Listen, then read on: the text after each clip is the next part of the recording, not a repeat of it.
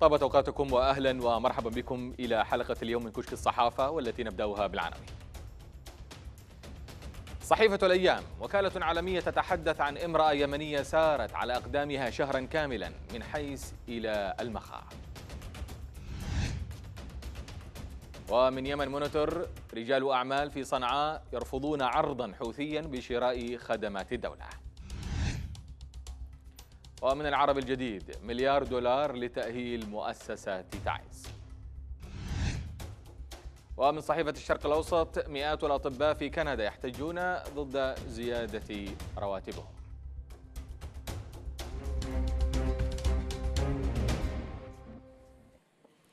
أهلا بكم. احتاجت اليمنية سهام علي إبراهيم شهرا كاملا لإكمال رحلتها الخطرة من قريتها قرب مدينة حيس إلى المناطق الواقعة على الساحل الغربي لليمن التي تتمتع بأمان نسبي وغالبا ما كانت تعبر خطوط القتال سيرا على الأقدام.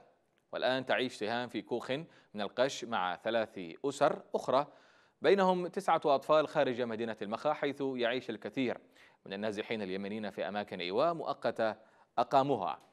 ووفقا لصحيفة الأيام التي نقلت تقريرا عن النازحين في المخا ورد في وكالة روتارز دمر صراع مستمر منذ ثلاث سنوات اليمن حيث تخوض حكومة الرئيس عبد الرب منصور هادي المدعومة من التحالف العربي بقيادة السعودية حربا لطرد الحوثيين من المدن التي استولوا عليها في سلسلة من العمليات منذ عام 2014 وقالت إشراق السباعي وكيل وزارة الصحة خلال زيارة لمستشفى المخا العام وهو المنشأة الطبية الوحيدة في الساحل الغربي الخاضع لسيطرة قوات التحالف. إن عدد النازحين وصل تقريبا إلى أربعين ألف نازح والآن هناك تزايد أغلب النازحين يأتون من مناطق القتال مثل حيس التي تبعد نحو 90 كيلو مترا ويضيف التقرير لا يزال الصيد وهو المصدر الرئيسي لدخل غالبية السكان المحليين خاضعا لموافقة قوات التحالف. فقال عدد من الصيادين لرويترز أن التحالف سمح لهم بالإبحار مرة واحدة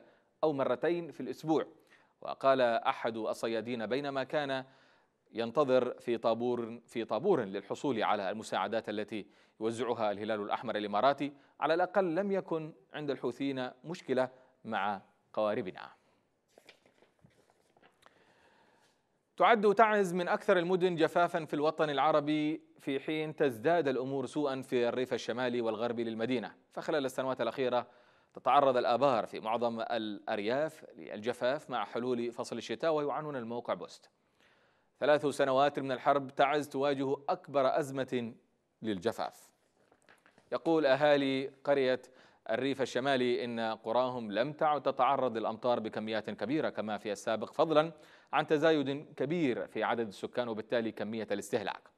أما مؤسسة المياه في المحافظة وفقا للموقع فقد أرجأت هذا الجفاف إلى أكثر الحفر أو إلى كثرة الحفر العشوائي للآبار ما أدى إلى خلل في الأحواض المائية بسبب الجفاف أو تسبب في الجفاف. تقرير حديث للصليب الأحمر أشار إلى توقف ضخ المياه إلى تسع مدن يمنية مؤخرا فضلا عن 15 مليون شخص يجدون صعوبة في الحصول على المياه حيث تحظى تعز بالنصيب الأوفر من هذه الإحصائيات. الأمر في نهاية المطاف يختصره سؤال بسيط.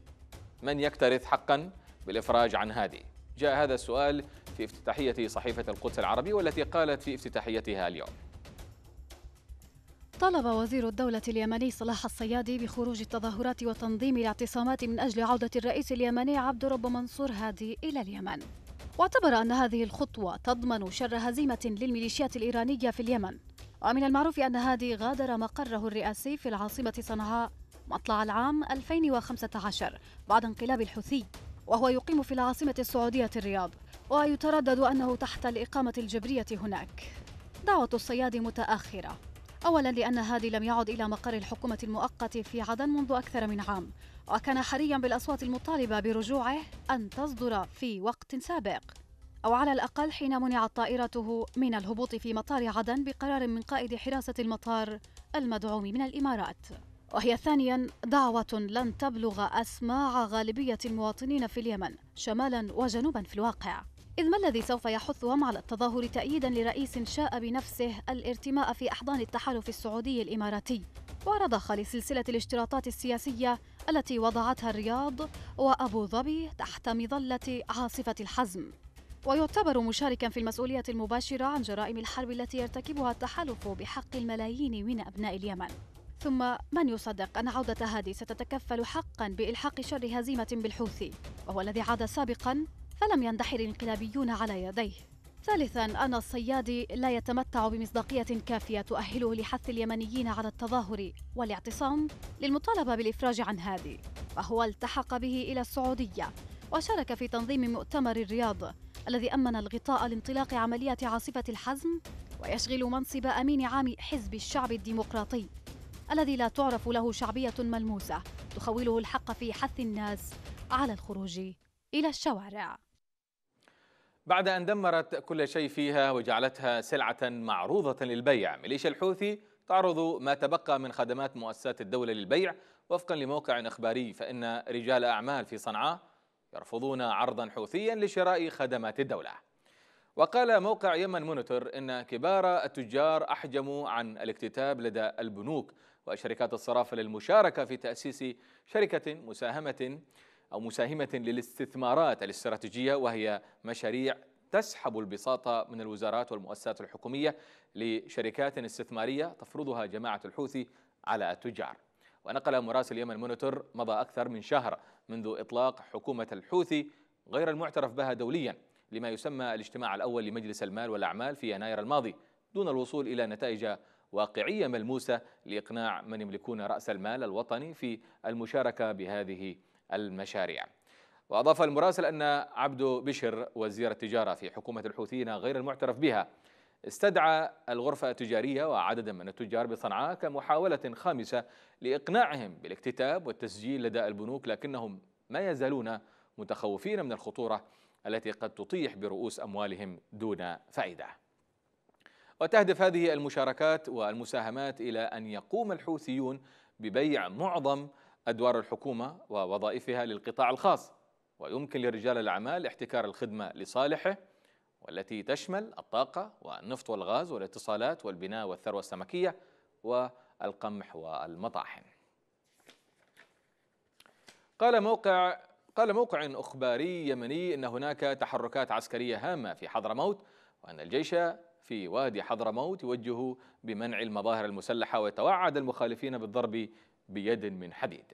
وقال موقع الحرف 28 أن قيادة المنطقة العسكرية الأولى أصدرت توجيهات حاسمة لكافة الوحدات والنقاط العسكرية بتعزيز الأمن والاستقرار ومنع المظاهر المسلحة في وادي حضرموت.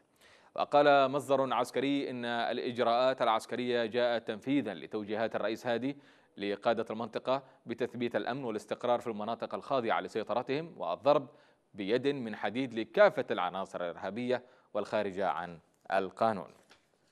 وأضاف المصدر أن حماية المواطنين وممتلكاتهم من المهام الرئيسية والثابتة للجيش الوطني وأن وادي حضرموت كان وسيظل نموذجا يحتذى به في كل المحافظات المحررة وسيظل أبناء المحافظة والجيش يدا واحدة لردع من تسول له نفسه المساس بالأمن والاستقرار. آلة الزمن تحت هذا العنوان كتبت سبا حمزة مقالها المنشور في العرب الجديد مضيفة في أجزاء من المقال.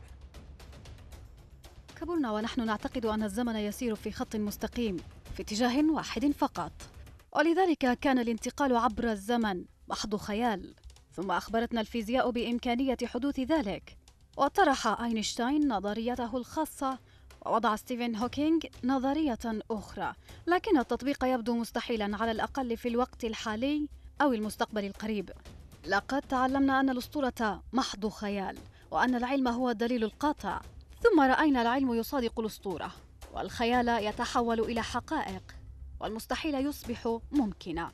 تقف في أرض بعيدة عن بلادك آلاف الكيلومترات بدون فارق زمني في الوقت لكنك تعلم يقينا أنك تعيش في عصر مختلف. تتقدم الأمم نحو المستقبل وتسافر بلادك إلى الماضي البعيد. وتقف أنت بين الأسطورة والعلم كتفسير منطقي للظاهرة المستحيلة. تقرر أنك ستترك ماضيك وتنتبه لمستقبلك لكنك تفاجأ بالماضي. يعود إليك في كل مرة مهما حاولت إخفاء طريقك عنه. ذلك أنه لا حاضر ولا مستقبل لك بدون الماضي. تحاول أن تتنصل من حياة سابقة وتبدأ من جديد لكنك تفاجأ بأنك أصبحت غير مرئي. هذا لأنك لست مجرد طول وعرض وارتفاع. أنت لست ذلك الآخر الذي يقف أمامك عندما تمر بجانب المرآة كل صباح. أنت هو وأشياء أخرى كثيرة لا يستطيع الضوء أن يعكسها لك لتراها. هذه هي وظيفة الذاكرة وهذا هو الزمن. بعدك الرابع.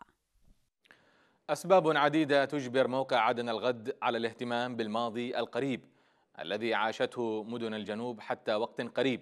وينشر الموقع موضوعا عن ما كان يحصل في أبين قبل عقود وقال الموقع في تقرير كتبه محمد ناصر العولقي. أن البريطاني براين جوزيف هيرتلي تقدم بطلب إلى وزارة المستعمرات يأمل فيه تعيينه خارج بريطانيا وعلى الأخص في إحدى المستعمرات في أفريقيا. تم تعيينه في عام 1938 مديرا للزراعة في محميات عدن وأبين ولحج والضالع. وفي ذلك العام زار هيرتلي المنطقة حيث كانت بين السلطنتين حينها حروب مستدامة على الحدود والمياه. حتى أن أحد المسؤولين الإنجليز رفع تقريرا يقول فيه أن هذه الحروب لن تنتهي إلا بانتهاء جميع السكان في هذه المنطقة. وقال تقرير الموقع أن البريطاني اقترح ووضع خطة لتنفيذ مشروع لجنة أبين الزراعية كاستثمار مشترك بين السلطنتين الفضلية واليافعية. لهدف إقامة علاقات اقتصادية ومصالح مشتركة تقضي على الصراعات والحروب بينهما. كما تؤمن أيضا الحاجة إلى تموين القوات البريطانية في المستعمرات أو في المستعمرة بالحبوب والخضار والفواكه وبالنظر إلى صعوبة وخطورة الامدادات بالغذاء عن طريق البحر أثناء الحرب العالمية الثانية وقد تم تأسيس اللجنة فعليا في عام 1942 وحدد جبل خنفر ليكون موقعا لمباني ومساكن المسؤولين الأجانب في لجنة أبيان. كانت جعار حينها مجرد مساكن فيها خمس أو ست عشش وبتأسيس اللجنة. توافد الناس عليها من كل مكان في اليمن فزاد عدد المساكن إلى 500 عشة ومسكن عام 1948 ثم أخذت جعار تكبر وتتوسع حتى تحولت في ظرف مدة بسيطة إلى ثالث أكبر المدن في الجنوب. بعد الفاصل سنعود لمتابعة أبرز ما أوردته الصحف العربية والعالمية بالإضافة إلى بعض الأخبار المتنوعة. قم معنا.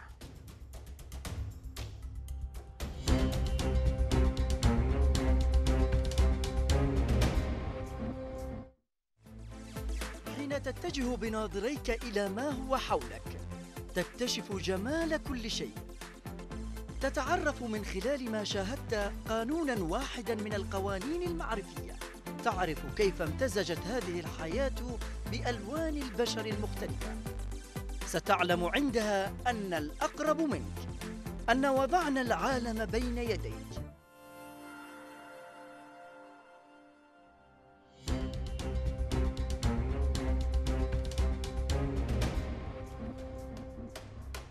أهلا بكم من جديد.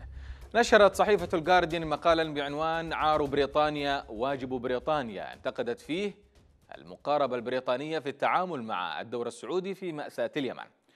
واعتبرت الصحيفة أن اختتام زيارة ولي العهد السعودي محمد بن سلمان لبريطانيا تزامن مع إعلانين مهمين. الأول صفقة مساعدات قيمتها 100 مليون جنيه استرليني وصفت فورا على أنها عار وطني. بينما تقول وزارة التنمية الدولية البريطانية أنها ستعتمد على مجموعة من الخبراء لدعم البنى التحتية في الدول الفقيرة. يقول منتقدوها أن هذه الصفقة جاءت لتنظيف صفحة المملكة العربية السعودية لدورها الرئيسي فيما يجري في اليمن. الإعلان الثاني فكان من قبل شركة أنظمة بي إي للصناعات الدفاعية إذ كشفت عن إتمام صفقة طال انتظارها بتقديم 48 طائرة تايفون مقاتلة للسعودية وتمتلك السعودية 72 طائرة في أسطولها الجوي حاليا ويستخدم بعضها حاليا في الحرب في اليمن. ونقلت الصحيفة عن الحملة ضد تجارة الأسلحة والتي تتخذ من لندن مقرا لها. أن الحكومة البريطانية منحت رخصا بصفقات سلاح للسعودية بما قيمته أربعة مليارات و600 مليون جنيه استرليني منذ بدء حملتها الجوية في اليمن عام 2015 ثلاث سنوات مرت على اندلاع الحرب في اليمن كانت لها آثار ضخمة على تدمير البنى التحتية ومؤسسات الدولة في معظم المحافظات اليمنية. لكن كما تقول صحيفة العرب الجديد محافظة تعز البالغ عدد سكانها أكثر من أربعة ملايين نسمة كان لها النصيب الأوفر من الأضرار التي طالت كل مناحي الحياة. ومع مطلع العام الحالي بدأت تحركات من قبل المسؤولين في تعز ومعهم نشطاء مدنيون لإعادة تأهيل المؤسسات الحكومية الرئيسية من أجل إحياء الخدمات للمواطنين. وأصدر مكتب وزارة التخطيط والتعاون الدولي تقريرا تضمن تكلفة المرحلة الأولى لإعادة تأهيل بعض القطاعات الحكومية خلال عام 2018 وبحسب التقرير الذي حصلت العربي الجديد على نسخة منه فإن تكلفة المرحلة الأولى تقدر بنحو 1 مليار و200 مليون دولار تشمل إعادة تأهيل تسع قطاعات هي التعليم والصحة والسكان والنقل والسياحة والشباب والطاقة والمياه والاتصالات. تعريف الانتخابات والديمقراطية تحت هذا العنوان كتب روي جري نيبجريغ مقاله المعاد في صحيفة الغد وجاء فيه. لا يوجد بعد وصفة جاهزة للديمقراطية لكننا نستطيع الاتفاق على أن المكونات يجب أن تحتوي على الضمانات الأساسية لحرية التعبير والانتخابات الحرة. فإذا لم يكن لديك الحق في أن تتكلم بحرية ضد أولئك في مواضع المسؤولية وبالتالي عدم ترشيحهم للسلطة فإنك تعيش في ظل نوع من الحكم لا يمكن وصفه بأنه ديمقراطي. خلال الأيام الماضية ذكرت الصين أكبر أوتقراطية في العالم عن غير قصد بما هي الديمقراطية. صحيح أن قلة يعتبرون ذلك البلد أي شيء يقترب من الديمقراطية منذ ثورة العام 1949 التي جلبت عقودا من دكتاتورية ماو تسي تونغ القاسية. لكن قرار الزعيم الشيوعي الصيني في ذلك الوقت في أوائل الثمانينيات تحديد الرئاسة بفترتين كل منها خمس سنوات أعطت على الأقل انطباعا عما يشبه التجديد. لكن الزعيم الحالي نقض هذا التقدم في الأيام الأخيرة عندما اتجه شي جين بينغ إلى تمديد فترة حكمه إلى ما وراء العام 2023 معطيا نفسه حق الحكم إلى أجل غير مسمى. أما المكون الآخر للديمقراطية حرية التعبير فالسيطرة عليه تبقى أصعب على السلطات القائمة في بكين. وقد لاحظت هيئة الإذاعة البريطانية بي بي سي أن قرار إنهاء حدود ولاية الرئيس أثار موجات من النقد على مواقع التواصل الاجتماعي الصيني ساينا ويبو ولم يكن من المفاجئ أن يتدخل المشرفون سريعا ليمنعوا تداول عبارات أساسية من نوع لا أوافق وفترة انتخابية وتنصيب المرء نفسه إمبراطورا. إحدى أكبر نقاط الضعف في دولة ديمقراطية هي أن المطاف يمكن أن ينتهي بأشخاص سيئين إلى مواضع المسؤولية. لكن الترياق الوحيد بطبيعة الحال هو أن الديمقراطية نفسها هي التي تضمن أنهم لن يظلوا هناك إلى الأبد. ومن الصحافة الفرنسية تحديدا صحيفة لوموند نطالع لكم موضوع يحمل عنوان النووي الكوري ما الذي يجب أن تنتظره من لقاء كيم جون أون ودونالد ترامب؟ تقول الصحيفة ما زالت التساؤلات قائمة حول الشروط التي ستفرضها كوريا حول اللقاء المستقبلي الذي أعلن عنه يوم الجمعة. وتضيف الصحيفة في ترجمة خاصة لقناة بلقيس بتفاجؤ وارتياح علمت كوريا الجنوبية في الجمعة الماضية أن الرئيس الأمريكي سيقابل الرئيس الكوري الشمالي والذي من المحتمل أن يكون في مايو. فيما يتوجب أن تعطي اللقاءات في الأشهر المقبلة بين الكوريتين في إبريل ثم في أمريكا وكوريا الشمالية فيما بعد المجال للسلام بعد سبعين سنة من التوتر. وتمثل هذه التطورات موضع اعتزاز لمواطني كوريا الجنوبية. فرئيسهم هو الوسيط ولأول مرة في تاريخهم تظهر كوريا الجنوبية بأنها المبادرة في إعادة تشكيل الحالة السياسية في شبه الجزيرة الكورية. ما زال أحد الأخبار القادمة من كندا متصدرا للمواقع الأخبارية والصحافة وعنوان الصحيفة الشرق الأوسط. مئات الأطباء في كندا يحتجون ضد زيادة رواتبهم. وقالت الصحيفة في خطوة قد تكون غريبة من نوعها قام مئات الأطباء بمقاطعة كيبك الكندية بالاحتجاج على رفع أجورهم قائلين أن رواتبهم عالية جدا ولا تحتاج إلى زيادة. وبحسب صحيفة واشنطن بوست الأمريكية فقد قام أكثر من 700 طبيب بالمقاطعة بالتوقيع على عريضة احتجاج على الإنترنت يطالبون فيها الحكومة بإلغاء قرار رفع رواتبهم وتفيد الصحيفة كتب الأطباء في العريضة نحن أطباء كيبك نعارض الزيادات الأخيرة في الرواتب التي تتفاوض عليها الاتحادات الطبية لدينا. تضيف رسالة الأطباء ضميرنا لا يقبل أن تزيد أجورنا في حين أن رواتب طاقم التمريض لا يوجد زيادة بها وفي حين أن المرضى يعانون من ضعف الخدمات المقدمة لهم. وتتابع الصحيفة يذكر أن رواتب الأطباء في كيبك مرتفعة بالفعل حيث يقدر متوسط آه، راتب الطبيب سنويا بنحو 403 ألاف دولار.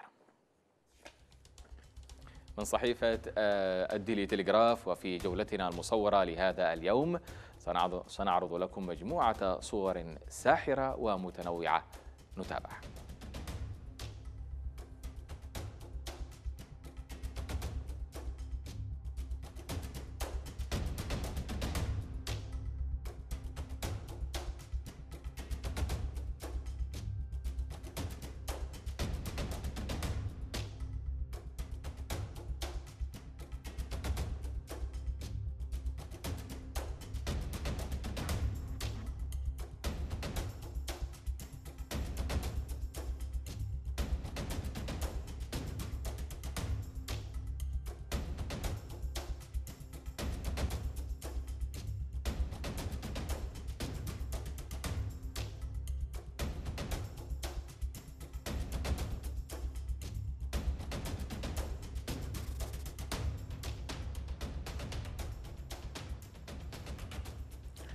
بهذه المجموعة من الصور والصحف نكون قد وصلنا إلى ختام حلقتنا لهذا اليوم. نترككم مع مجموعة من رسوم الكاريكاتير. إلى اللقاء.